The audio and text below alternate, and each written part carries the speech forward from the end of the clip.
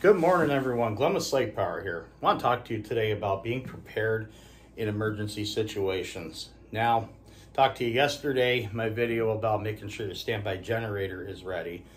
Today, I want to talk to you about how to make your, yourself, your home, and your business ready for any sort of natural disaster or man made disaster for that matter that causes an interruption in power and an interruption in your life. Now, First two things here, you see on the news every time there's a hurricane down south, you see tons of news stories about people looting, crime going all over the place, and people just taking advantage of people in their worst situation. Now, statistically, chances of it happening to you are relatively slim, but you still need to prepare for it. Um, protection and security you know, interpret that how you want, but us here in New York State Site Power and National Site Power, we are strong believers in the United States Constitution and our natural individual liberties that come along with it and the American excellence that comes along with it. Now, keep in mind, our rights are not derived from the government. They are natural, they are ours, and they are ours to use responsibly. Now, you're a Second Amendment guy like us, want to make sure you're familiar with your firearm. You want to make sure you have adequate ammunition. You want to practice. You want to practice the basics. You want to practice the basics every day. You know, the masters in self-defense, they practice the basics and you know more advanced stuff, but the basics are the fundamentals of self protection. Now, if you're not familiar with it, I know a lot of people aren't. You know, you, might watch a Clint Eastwood movie or something and uh, think you're going to go all guns blazing on on some looters coming to your house. Well, it's not a smart idea. Not if you don't know what you're doing. We recommend taking a training class. Now, company we're not um, we're not affiliated with, but you know some of the people there and they do great work. You hear them on the news.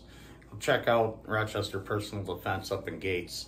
You know, sign up for one of their self-defense classes, you know, involving firearms or not firearms. You know, they, they do offer other options. But they're, they're great programs. Strongly recommend taking a program like that, training course, you know, whether it's through them or somebody else. You know, it's just going to help you out in the long run. Again, security, you know, your, your ring doorbell is not going to work. Um, you want to make sure you have good locks on your home. Take an inventory of your possessions, you know, especially possessions of value, you know, jewelry, family heirlooms, stuff of value.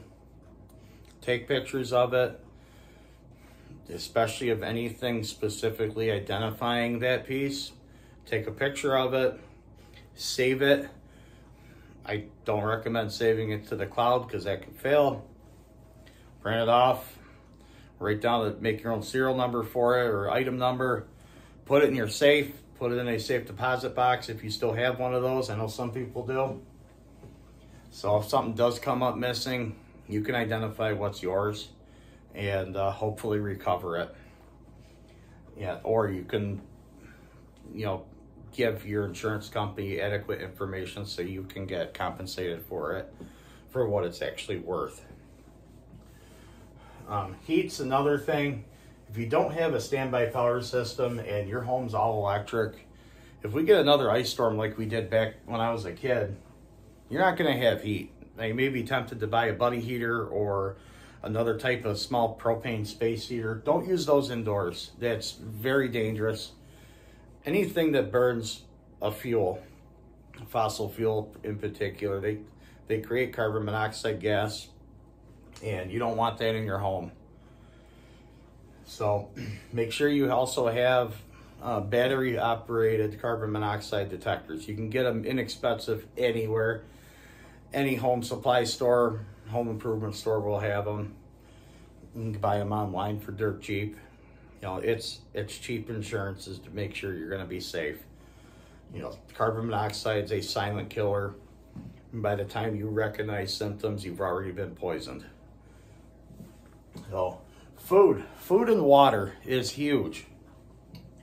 During a natural disaster, you might not be able to go to the grocery store or a friend's house to get supplies. You might be stuck at home, you know, until you can leave.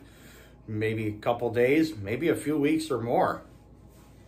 Now, I recommend having at least two to three weeks worth of non-perishable food items in your pantry, as well as at least four or five gallon jugs of potable water so you can stay hydrated, you can cook meals, and you can be safe. Because a lot of times these natural disasters come with a boil water advisory.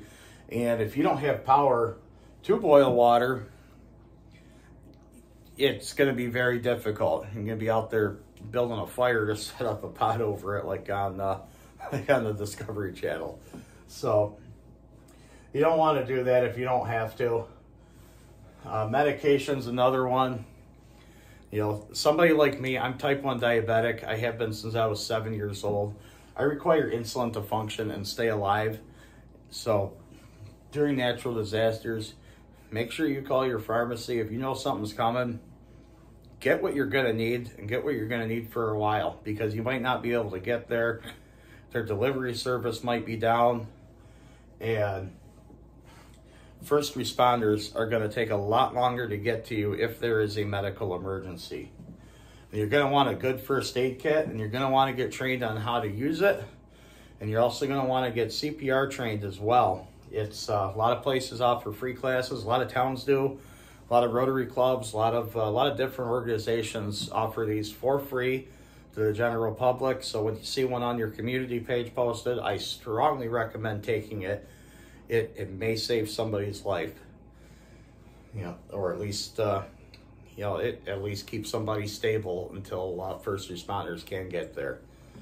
So again, if you have any questions on what it takes to be prepared, give us a call, 585-224-4000.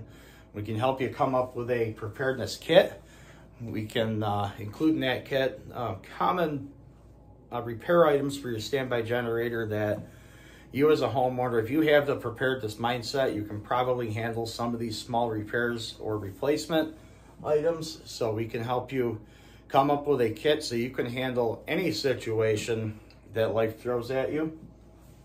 And again, our number is 585-224-4000 if you're in upstate New York or northern Pennsylvania. If you're in eastern or middle Tennessee or western Carolinas or North Georgia, you can call our Eastern Tennessee office, 423-458-6650, and we can take care of you so you can take care of your family no matter what life throws at you. Thank you, and have a great day.